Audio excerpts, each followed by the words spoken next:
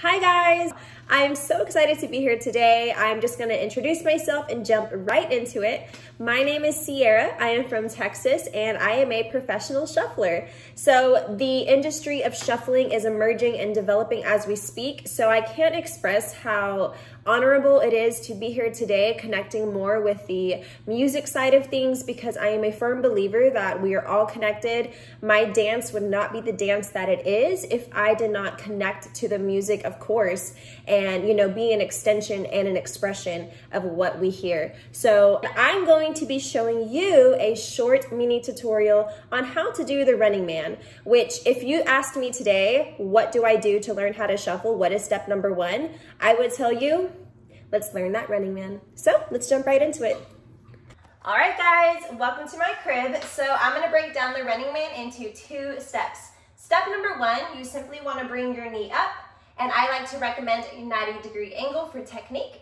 Step number two, you simply wanna hop down, okay? So it looks like this, boom. All that I did was I put my front leg forward at the same time that I scooted my back leg back. So we opened up and we did a short, crisp pop. Now we're just gonna return to step one. I'm gonna take this back leg back. I'm gonna pull it up and through. I'm gonna hop, boom, step one.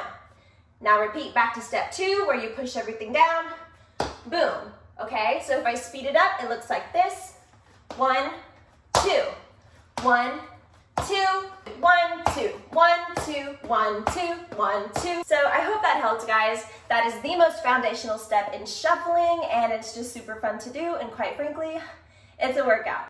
If any of this sparked an interest in you, please feel free to connect with me on Instagram because I am a shuffle instructor. I hold live virtual group classes over Zoom as well as private classes. If you ever just want to get some one-on-one time or personalized coaching, I got you. Speaking of, I want to give a quick shout out to the shuffle community. Y'all also met Jolie, who is on here for Shuffle Wisdom, and she's absolutely amazing. She is one of hundreds of shufflers that are out there that are just grooving and vibing to the music. It's just amazing what has developed just even over the past few years. I'm just gonna end this little intermission with a quick flow shuffle sesh so you can kind of see like what that expression looks like. Love you guys.